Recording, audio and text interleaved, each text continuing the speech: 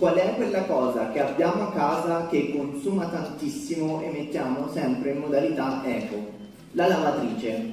Quindi proviamo a misurare la potenza consumata dagli oggetti intorno a noi in termini di lavatrici. Ad esempio, un batterio procariote consuma appena un milionesimo di miliardesimo rispetto a una lavatrice. Invece un oggetto di tutti i giorni, come può essere una lampadina LED, consuma appena un duecentesimo di lavatrice.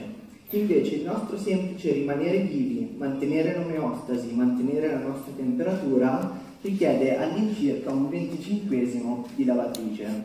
Se invece noi potessimo immaginare di estrarre tutta la potenza di un'onda marina alta 3 metri, potremmo alimentare 20 lavatrici per ogni metro di onda.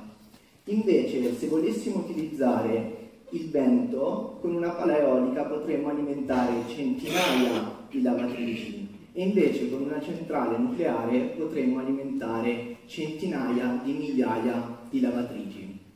Se invece potessimo utilizzare tutto il sole, avremmo un numero di lavatrici incredibile, tipo 4 seguito da 24 0.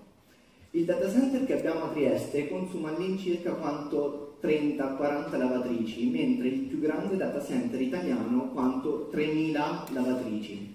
Cosa hanno in comune lavatrici e data center? Fondamentalmente nulla, ma sono oggetti energivori.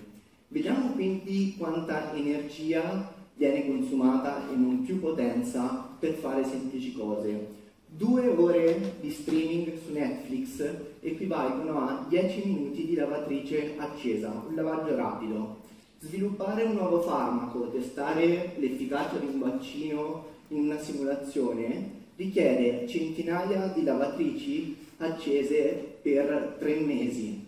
Allenare un language model da zero richiede migliaia di lavatrici accese per sei mesi. Quindi ogni volta che noi utilizziamo un servizio cloud, accediamo a qualche supercomputer in giro per il mondo, stiamo accendendo veramente tante lavatrici e anche per una buona causa.